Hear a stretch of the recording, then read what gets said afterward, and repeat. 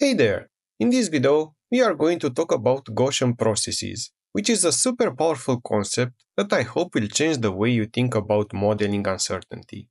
Let's start with the big idea, which is that Gaussian processes don't just give us a single function to fit our data, and instead, they give us an entire distribution of possible functions. This is incredibly useful when we are dealing with uncertainty or limited data. So what exactly is a Gaussian process? Well, it's basically a way to define a probability distribution, not over individual points, but over entire functions. Let me show you what I mean by that. Here we have several random functions, all drawn from the same Gaussian process.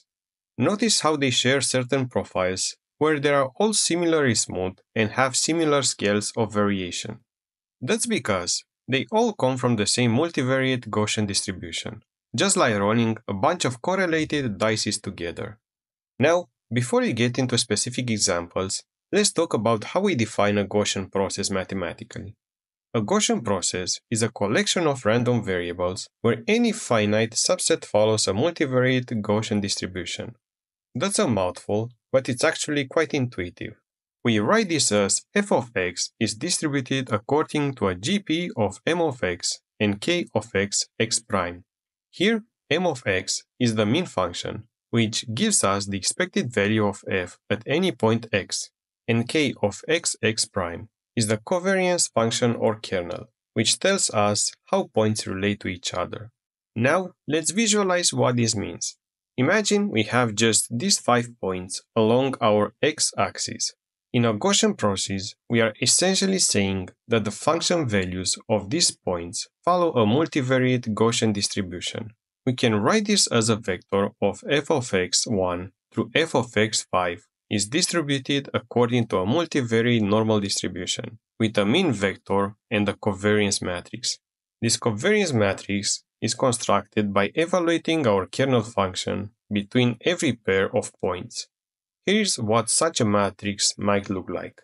Notice how points closer together have higher covariance, shown by brighter blue colors.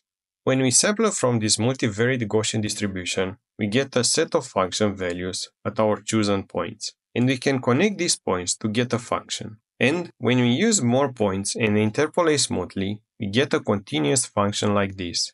Every time we sample, we get a different function, but all from the same distribution.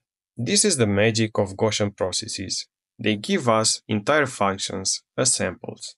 Now, let's talk about the prior distribution, which is a core concept in Gaussian processes.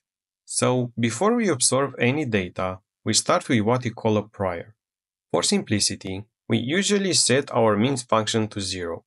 That's this red line here.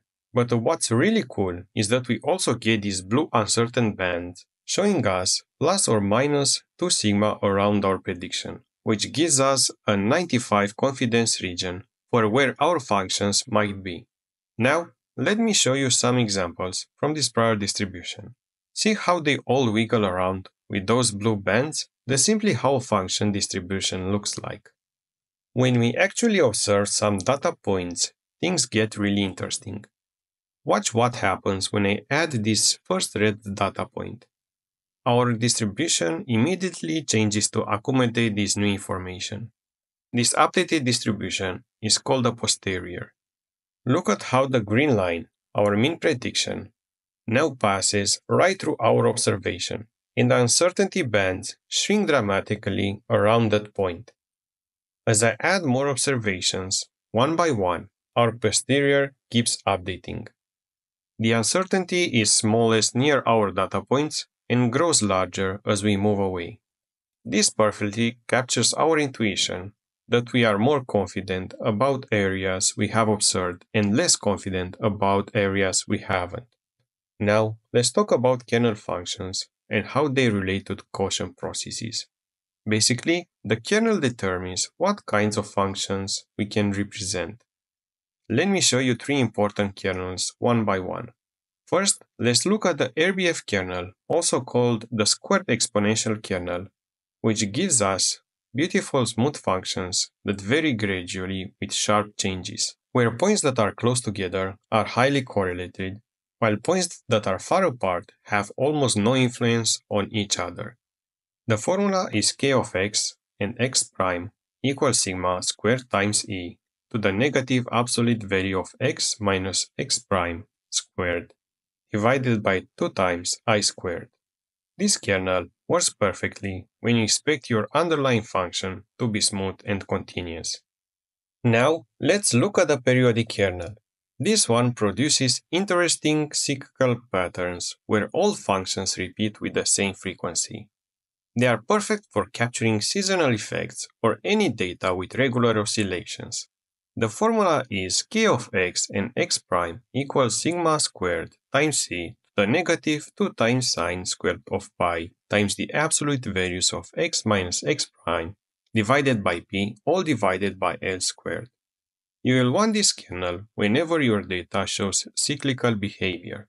Finally, we have the linear kernel and as you can see, the simple kernel gives us straight lines with varying slopes and intercepts that extend infinitely in both directions. The formula is k of x and x prime equals sigma b squared plus sigma squared times x minus c times x prime minus c. This kernel is ideal when you suspect your data follows a linear trend or when you want to capture global trends in combination with other kernels.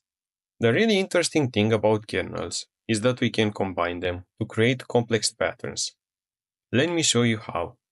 For instance, let's take functions from the periodic kernel where they oscillate with a regular pattern, and functions from the linear kernel which generate straight lines with different slopes.